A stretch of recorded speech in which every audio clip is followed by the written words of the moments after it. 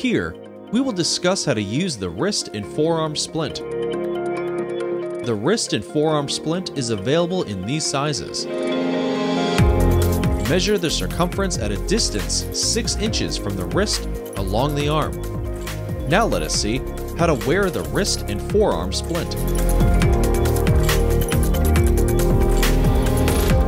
Aluminum splint is pushed out. The contours of the splint are matched to the contours of the wrist according to the degree of dorsiflexion required. The customized splint is now pushed back into the pocket. The injured hand is pushed into the tubular opening of the product and is aligned with the palmar crease on the top. Thumb is adjusted to a comfortable abduction position in the thumb opening. The hook loop rejoiners are fastened to a comfortable compression.